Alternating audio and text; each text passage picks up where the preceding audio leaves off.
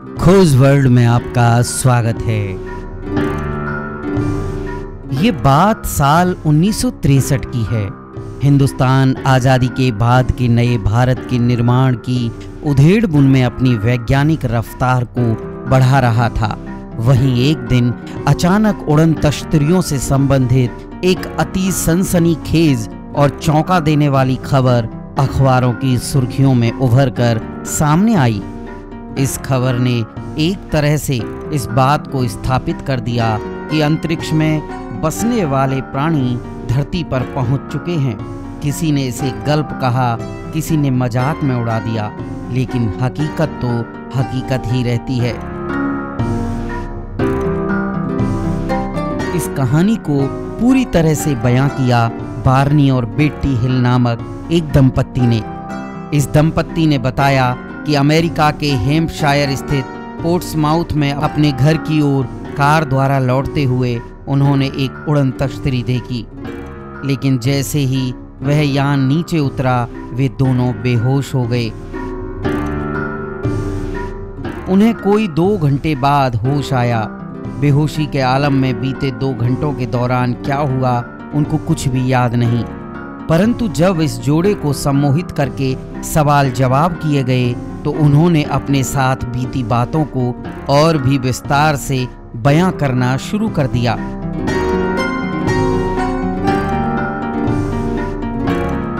अपनी सम्मोहित अवस्था के दौरान हिल दंपत्ति ने बताया कि उन्हें केक की तरह के एक विशाल यान के भीतर ले जाया गया। उस यान के भीतर उनका शारीरिक परीक्षण किया गया। उनके अनुसार शारीरिक परीक्षण करने वाले ये प्राणी आश्चर्यजनक रूप से दिखने में मानव के समान थे। उनका चेहरा थोड़ा भिन्नता लिए हुए अवश्य था। हिल दंपत्ति के अनुसार उन प्राणियों की आँखें बड़ी और बनावट में तिरछी थी और उनके चेहरों पर नाक नहीं थी।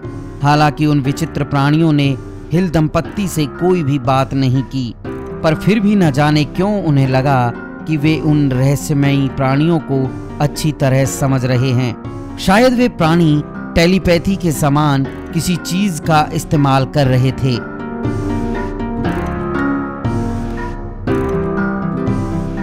आखिरकार हिल दंपत्ति का शारीरिक परीक्षण समाप्त हो गया। उन विचित्र प्राणियों ने हिल दंपत्ति को बताया कि उन्हें अपने साथ बीती कोई भी बात याद न रहेगी, और फिर वे विचित्र प्राणी उस दंपत्ति को पुनः उनकी कार में छोड़ गए।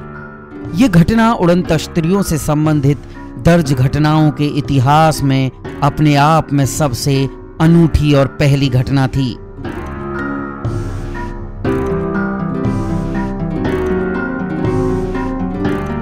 इस घटना के बाद भी अनेक ऐसी घटनाएँ घटी और ज़्यादातर मामलों में भी ठीक इसी तरह संबंधित व्यक्ति या व्यक्तियों को सम्मोहित करके ही उनके साथ बीती घटना का विस्तृत रूप जाना जा सका। अब आप ही तय कीजिए एलियन होते हैं या नहीं। दोस्तों, आप लोग हमारा चैनल सब्सक्राइब कीजिए लाइक कीजिए और शेयर कीजिए।